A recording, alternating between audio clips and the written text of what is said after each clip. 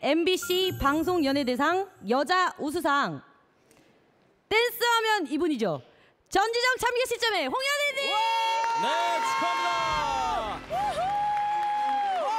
홍현희 씨는 전지적 참견 시점에서 거침없는 예능감으로 수많은 레전드 짤을 탄생시키며 큰 사랑을 받았습니다.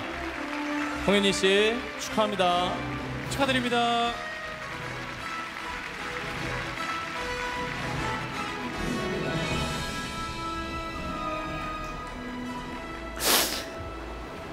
어,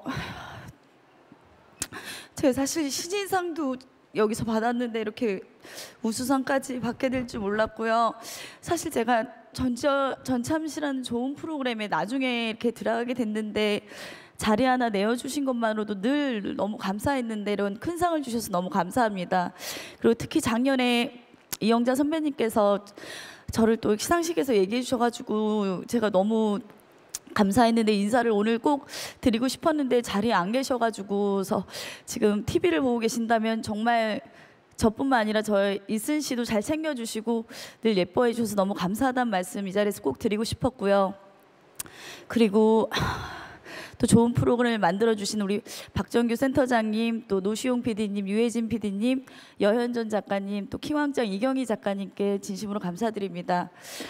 어, 그리고 또 제가 또 이렇게 잘 성장할 수 있도록 많은 도움을 준 스카이 ENM의 노진영 사장님, 강주봉 이사님, 또 배성민 산모님, 우리 안만수 본부장님께 너무 감사하다는 말씀 드리고 싶고요.